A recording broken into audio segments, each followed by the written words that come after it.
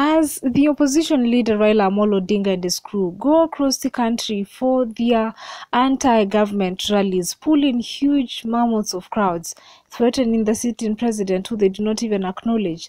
There seems to be people that have wise counsel for the sitting president that his focus should be elsewhere. Hello there, welcome back to my YouTube space. My name is GK. If you are checking in for the first time, thank you for clicking. Do make sure that you subscribe here. We stay informed and entertained. But before we head over to today's, let's go you all to PTech Services. Now, allow me to interrupt your viewing to bring to you PTech Services, a team of technology experts. And I know probably some of you want to call them geeks. What a name! Because these guys are so passionate about technology and providing you the best solutions we have in the market. So committed to ensuring that technology around you is running smoothly and efficiently so that you can actually focus on what really matters, which is chasing the bag. Now, are you looking for top notch installation of CCTVs, air conditioners, TVs, all kinds of installations? Are you looking for excellent services when it comes to maintenance and repairs for your home and office appliances and electronics, computers, laptops, printers, washers, name them?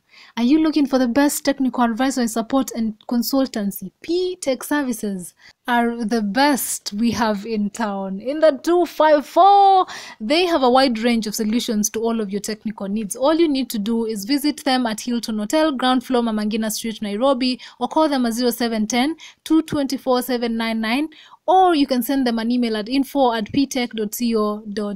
They also have a website. You can check out more about the company on their website. I am going to be leaving all of those details on here for your use in times of technological glitches and needs. Call them, send them an email, visit them physically, or go to their website and book yourself a free appointment. At PTech Services, your technological needs are well taken care of so that you can focus on what really matters. Now, on to today's. As the opposition continues to say that they actually do not acknowledge the sitting president and many other things they have to oppose. Sema kwa muktasari No, no, no, na kwamba jana rais uh, uh, sio rais. There has been a lot of leaders from the Kenya Kwanza side advising the president that the enemy is outside, which is not true because kikulacho kinguoni mwako, okay? Saying by far and large that opposition is their number one enemy, and number two is um, other cartels in the media banking sector. We all remember uh, the controversial threats by the Senate Majority Leader Aaron Cheruiyot that the president must crush any alleged cartels in the Kenyan banking and media uh, sectors that brought a lot of conversations around the same topic.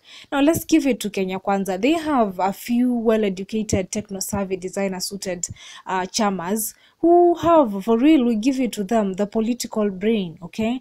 But that does not mean that they're always correct. Once the government was established, the main focus should, in fact, must for this matter, be on the insiders. The president ensuring that he now has an effective team that is going to be enabling him achieve his goal, objective, and vision for this nation. And there seems to be people that have this wise counsel actually sending it to the president, whether he listens, that's upon him, saying, I quote them, what President Ruto must now recognize is that the enemy is not in his predecessor. Uhuru Kenyatta, opposition leader Raila Odinga, the media, the civil society, banks, human rights campaigners, or any other external actors.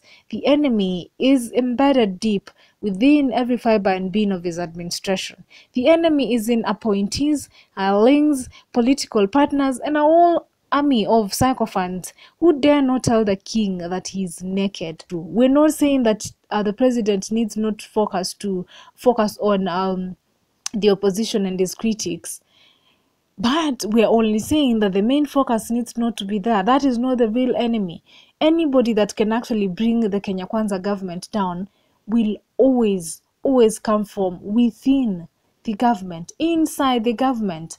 So his enemy is not out here. They will critique do nini nini, but the person that can bring the, the government down he or she is always going to be coming from inside the government. Tarudia jamani kikulacho kinguoni mwako. Now if you want to get the whole story by Mash- on the sickening nyayo era mindset in ruto's regime subscribe yourself last sunday's daily nation opinion page 21 and read through.